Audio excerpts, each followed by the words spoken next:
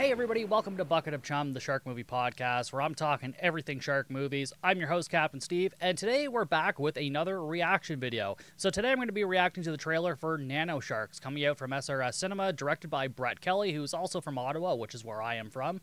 Um, I've shared this trailer a couple of times. I have not watched it yet uh, because I wanted to do this reaction video. So, I'm going to watch it right now, and uh, let's see what it is and dive in.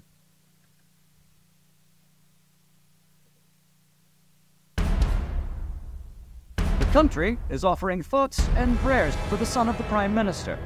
Oh no. Love it. Oh, got some puppet sharks.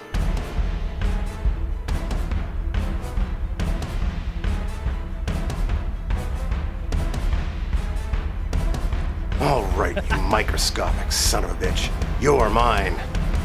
Amazing.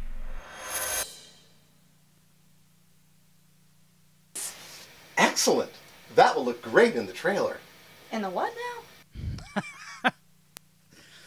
Okay, that's uh, that's pretty good. I uh, I definitely enjoyed that. So yeah, as I said, that's from Brett Kelly. I've covered a couple of his movies on the podcast before, uh, Jurassic Shark and Ouija Shark. So be sure to check out those episodes. And yeah, you can be rest assured that when this movie comes out, I will definitely be covering at some point.